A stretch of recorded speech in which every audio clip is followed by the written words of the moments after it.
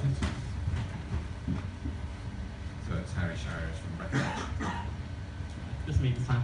Um, so Mario, um, it was made uh, by two 11-year-old children. Uh, one of them was Ellis Williams, whom you saw uh, in Globonaut, and the other child, um, a young man called Billy Doherty.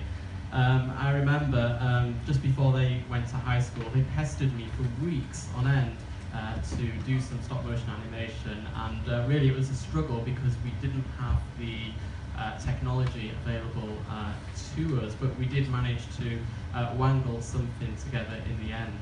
Um, I remember Ellis and Billy, they came to my classroom for weeks um, just making these tiny little Play-Doh miniatures. Uh, and then when it actually came to the filming, uh, all we had was one table with a bit of green screen on top and a webcam to record all the uh, different clicks. Um, I would say, you know, I'm really proud um, of the uh, weeks of hard work that they put into making such a, uh, short uh, two-minute film, and I hope you enjoy it. Okay.